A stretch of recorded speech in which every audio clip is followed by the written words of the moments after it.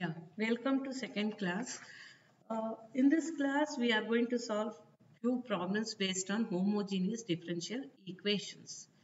Uh, you already discussed in the previous class. In the previous class, I told very clearly, whenever q of x equal to 0, that uh, linear higher order derivative equations becomes homogeneous.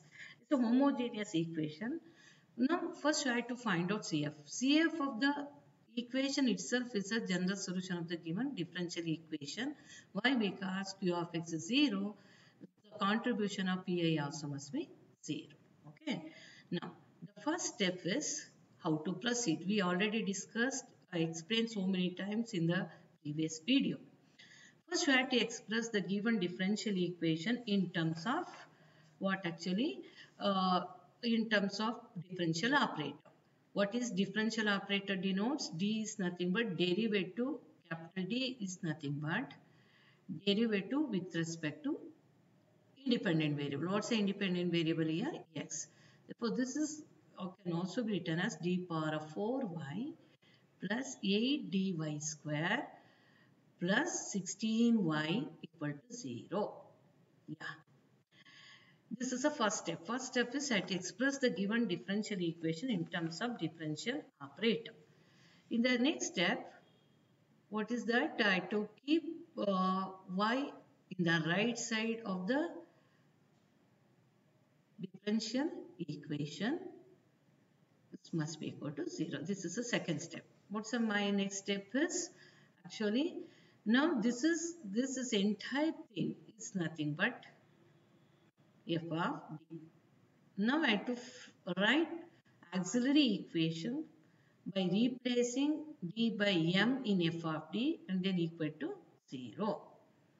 Therefore, what is the next step is auxiliary equation is what?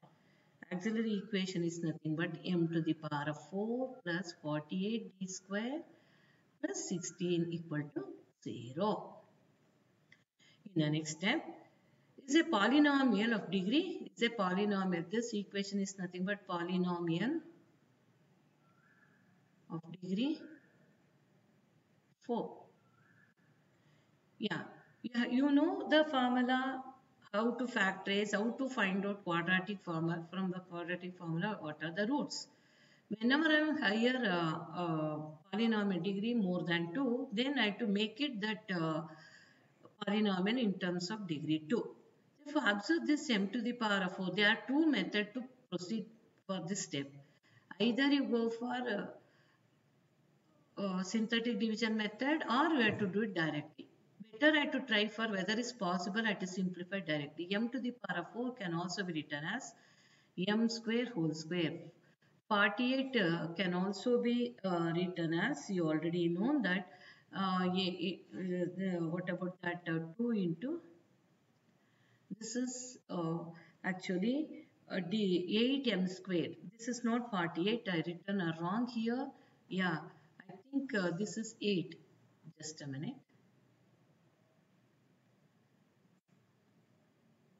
This is 8 yeah. This is not 48 while writing here i did mistake. Observe here uh, plus 8 square 8d square. See now this um, a square plus 2ab 2 into a uh, a is nothing but uh, uh, this is actually m square only yeah. Yeah just a minute.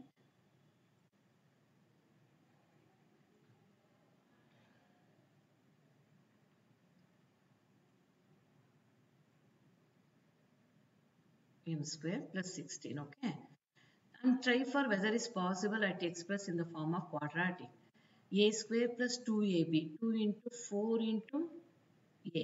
A is nothing but actually m square. 2a square this is b. What is b? 6 4 4 is nothing but 16 square. 16 16 is nothing but 4 square. Therefore easily this can also be written as m square plus 4 whole square. No, no, not necessary to apply which one?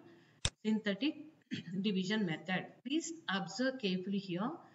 First, you try whether it's possible to simplify without using uh, synthetic division. You do it. Suppose it's not pos possible, uh, there is no alternative. Go for synthetic division method. Apply this synthetic division method until reach the polynomial degree 2. Because you know how to proceed. Suppose the polynomial degree 2. Now this is just like a square plus 2ab plus b square. a square plus all terms are positive. Therefore, what's the possibility? a plus b whole square. 2a square. Remaining 4 2s are 8. Remaining as b. Yeah, already is there 16. Therefore, this implies m square plus 4 is equal to 0 and also m square plus 4 is equal to 0. 5. Totally how many roots are expecting here? 4 because it's a polynomial degree 4. Therefore, what is m is m square is equal to minus 4 that implies m is equal to plus uh, minus uh, root of minus 4. Root of minus 4 is nothing but 2i. Because root of minus 4 can be written as my 4 into minus 1. What is minus 1? i. 2i. Okay. This also implies what actually m is equal to plus or minus 2i plus 2i minus 2a plus i 2i minus 2i. Here totally we get 4 roots all four but here we get two pairs of complex roots. Both the roots are repeated.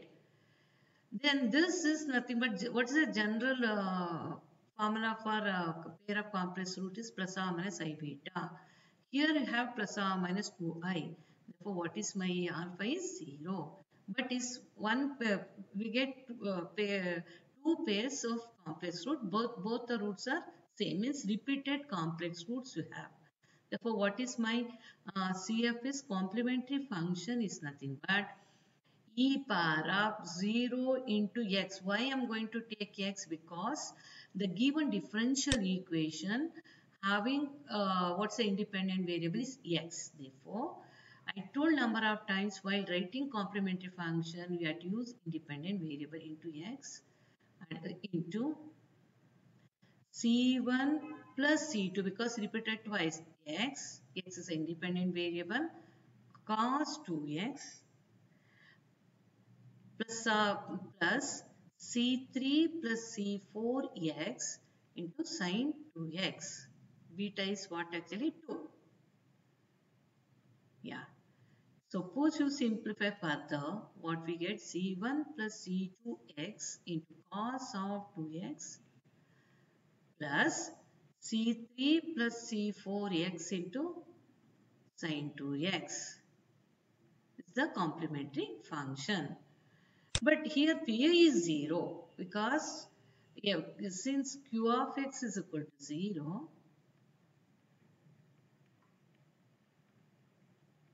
implies I told number of times pi we get from q of x. Therefore, what is my general solution? y is equal to complementary function itself is my general solution. What is my general solution? Uh, c1 plus c2 x into cos 2x plus of c3 plus c4 x into sine 2x is the required. Why I am telling that this is a general solution because they are not given any boundary conditions. They are not given any initial or boundary conditions. Therefore, this is nothing but what they are given the problem is nothing but actually uh, once you solve that we get a general solution because they are not given any restriction, not given any constraint. It means not given any boundary conditions. Therefore, now this is a, a solution of the given problem. This is a way I to solve homogeneous differential equation. This is a way I to find out complementary function for the given differential equation. Okay. Now move to the next problem.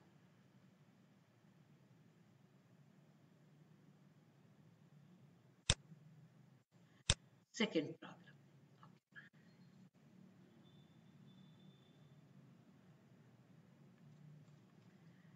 uh, we already written at the beginning solve the following differential equations not necessary to write in every problem solved just I'm going to write the problem on the board 4 into d square y by dx square plus dy by dx equal to 0. Okay, fine. Now, first I have to, as usual, first I have to express in the form of differential operator where what is capital D denotes the derivative with respect to x is nothing but 4d cube by plus 4d square y plus uh, dy equal to 0. That implies first I have to write uh, the first I have to express in terms of the differential operator. What's the next step?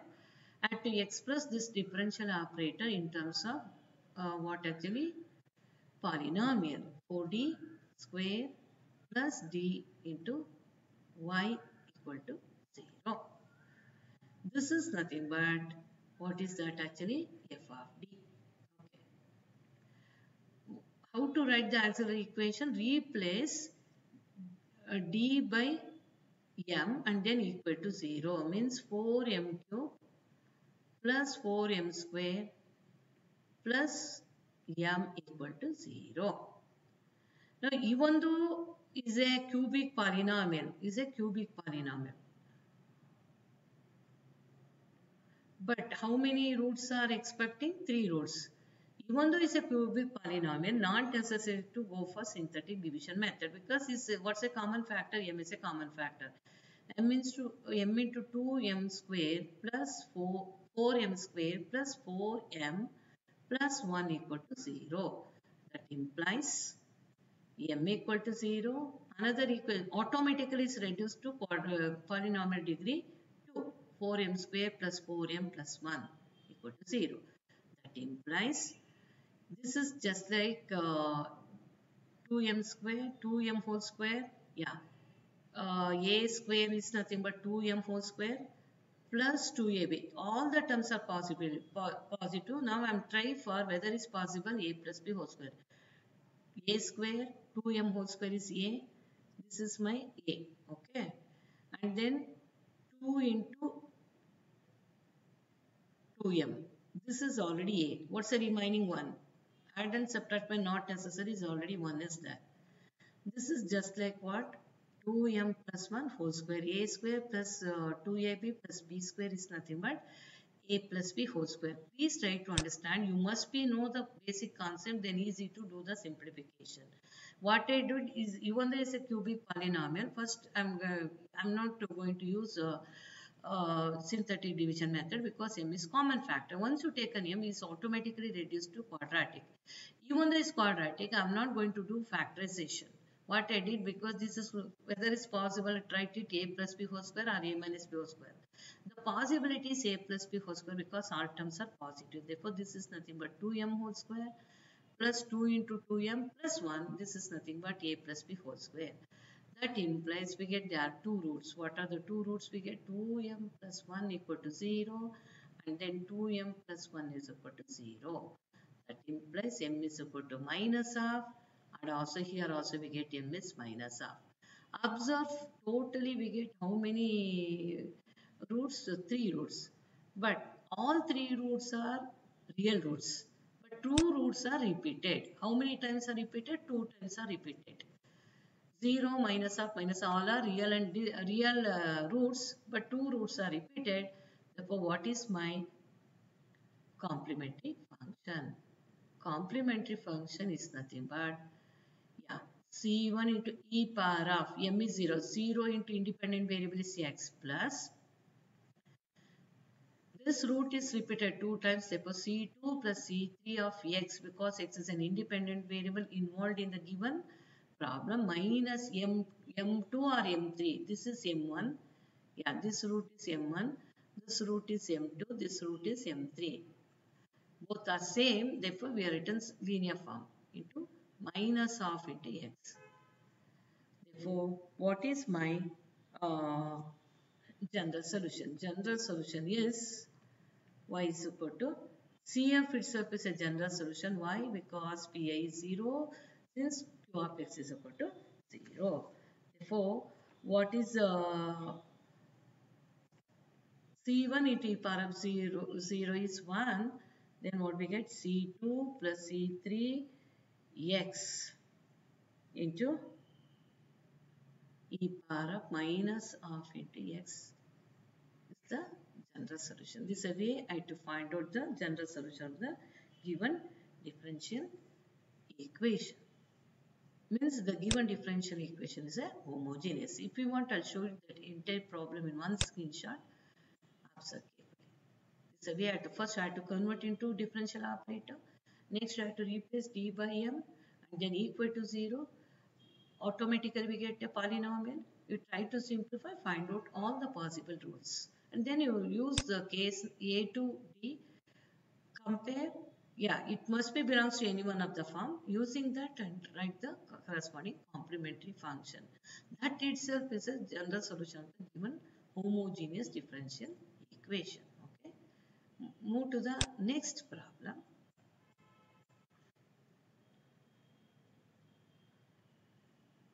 third problem okay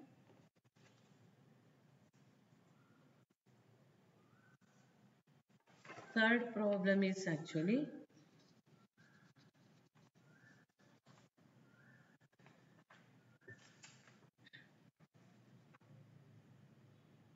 d cube minus 3d square plus 4 into y equal to 0. Here is not given in the form of derivative. They are already given in the form of differential operator and also they are not mentioned what is D stands for. Suppose it's not mentioned in the problem D stands for, you only assume that D is nothing but derivative with respect to x. Choice of you. If you want to take with respect to x, with respect to t, other than y, y is a dependent variable. Now, then uh, what's the given? They're given already in the simple form. Given d cube minus 3d square uh, plus 4 equal into y equal to 0. That implies what is my auxiliary equation? Auxiliary equation is, it's very easy. m cube minus uh, 3m square plus 4 equal to 0. It's a cubic polynomial. It's a cubic polynomial. You can't find out root directly. You can't do the factorize also. Therefore, first you have to convert this cubic polynomial in terms of quadratic form. How to find out? Now I go for synthetic division method. If you want to go for synthetic division method, first you have to know one of the root by using inspection method. Keep in mind. If you want to go for synthetic division method, first you have to find out one of the root by using which, met which method? By inspection method. Means by inspection means once you give the different values of m, verify whether LHS is equal to RHS. That is called inspection method. Suppose now put m is equal to minus 1. What we get here, this is minus 1 whole cube is minus 1, minus 3, minus 4, plus 4 is cancelled. What we get minus 1 whole cube, minus 3 into minus 1 whole square, plus 4 equal to 0. Now you simplify this, what we get minus 1 minus 3 plus 4. Yeah, LHS is equal to RHS. Therefore, m is equal to minus 1 is a one of the root by using inspection method. See, root means once you substitute the value in the left hand side, that must be equal to right hand side. What is the right hand side here? 0. That is nothing but one of the root of the uh, corresponding polynomial. Therefore, now I am going to take m is equal to minus 1. Therefore, m is equal to minus 1 is one of the is one of the root.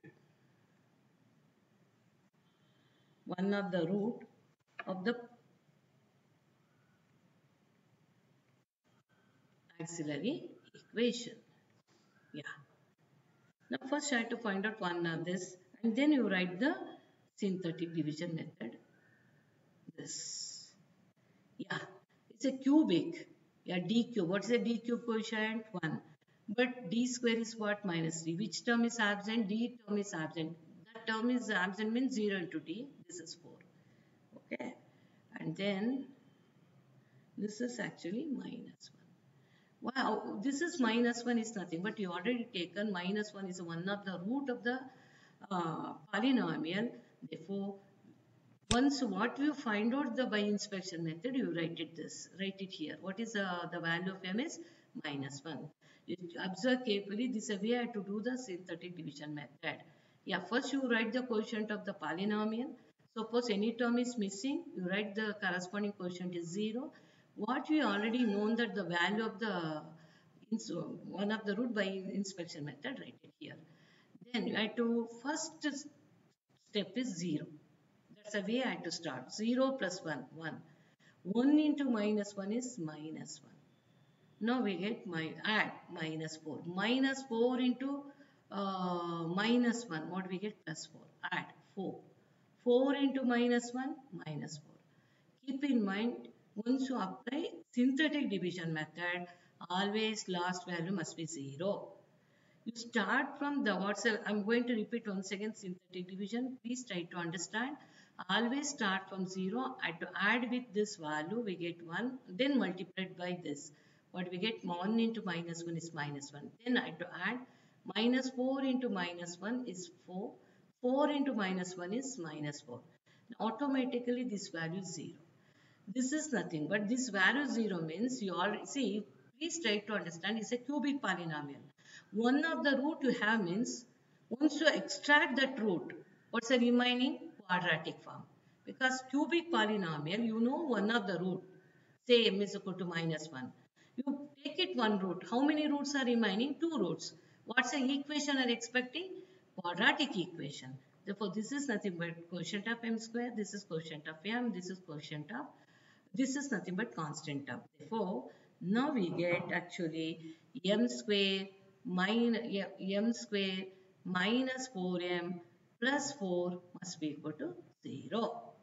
Okay. Please try to understand this.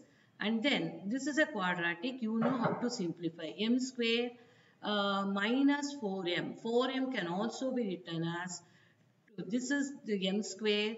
4m can also be written as 2 into 2 into m.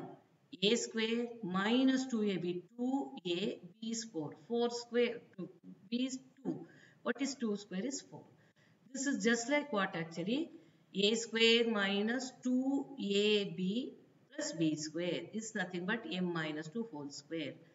That implies what, what are the roots we are expecting? m is equal to 2 and m is equal to 2.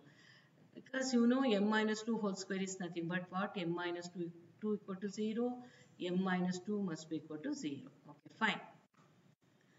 Now finally we get three roots. One is minus 1, 2, 2 are the three roots. Because it's a polynomial at degree 3, how many roots are expecting? Three roots are expecting here. Now, before move to the next step, I'm going to repeat synthetic division method. Yes, first if you want to go for why I had to use synthetic division method because it's a cubic polynomial, you can't find out the root In mind it's possible to factorize only the cases polynomial of degree 2. Therefore, now the first by using inspection method, I have to find out one of the root. How to find out by inspection method? Giving try and error the values. Once you substitute the value, that value must be equal to LHS is equal to RHS. Then we say that that's a one of the root. What we get the root and then I have to take minus 1 and then uh, you go for synthetic division method means it's a cubic polynomial. This is a quotient of d cube. This is a quotient of d square. The quotient of d and uh, constant.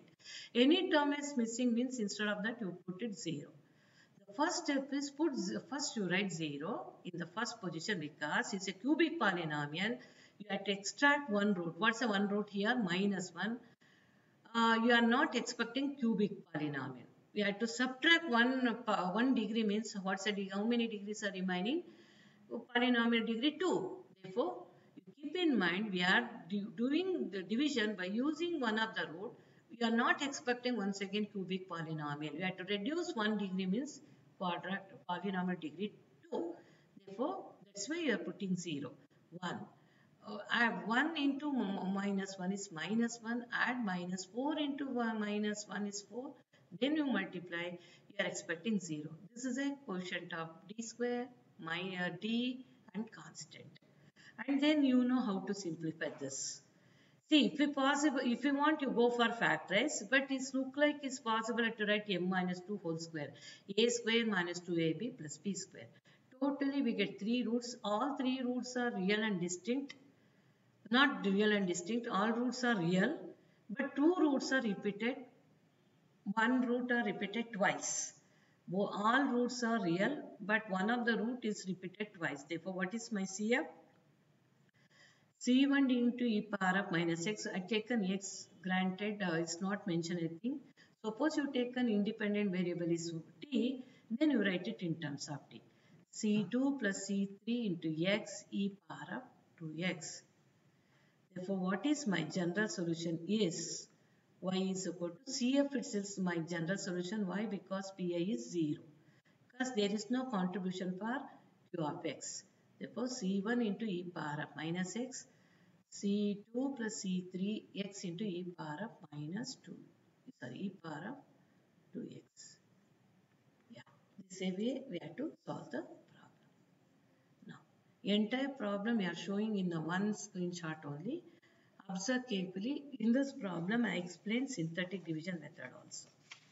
I think it's clear how to proceed it's clear uh, then now in the uh, next class i'm going to take uh, some more one few more problems for homogeneous i'm going to explain how to solve the problem by using uh, synthetic division. I'm taking one more one or two one more uh, problem based on synthetic division method.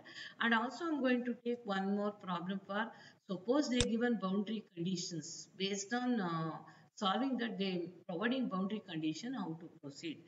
That type of problem also i'm going to solve. A few more problems in the next class. Keep in mind how to apply synthetic division. That's a very very important. I'm going to take two more for synthetic division method and one problem for suppose they're going to give a boundary condition okay? Until you take care and then please come back in the next class with the preparation for these three problems. I think you have uh, uh, just to, to get idea how to find solve homogeneous differential equation. Means right q of x must be equal to 0 cf itself is a general solution of the given differential equation. Thank you very much. Bye. See you and take care